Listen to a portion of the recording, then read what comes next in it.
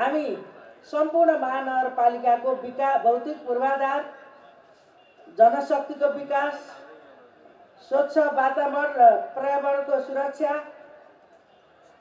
आदि कुरालाई चाहिँ अगाडि बढाएर एउटा सम्पन्न महानगरपालिकाको रूपमा अगाडि बढाउन सक्नेछौँ भन्ने मलाई विश्वास छ। र सङ्घको प्रतिनिधि हुनुको नाताले सदैव मेरो साथ र सहयोग रहने मैले विश्वास पनि दिलाउँछु।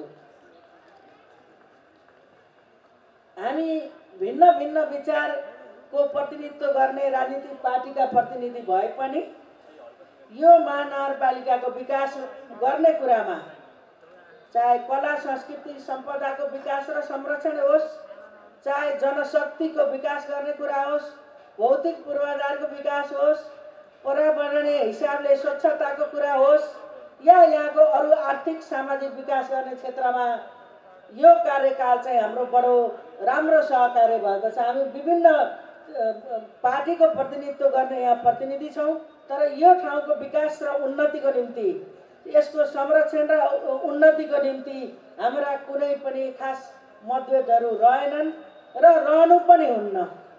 हामीले हाम्रो ठाउँको विकासलाई पहिलो प्राथमिकता राखेर हाम्रा आफ्ना आस्था र विचारलाई चाहिँ आफ्नै ठाउँबाट अघि बढाउनुपर्छ भन्ने मान्यतालाई हामीले सबैले आत्मसात गऱ्यौँ र एउटा बडो सहकार्यका बिचबाट आज हामी यहाँ आइपुगेका छौँ।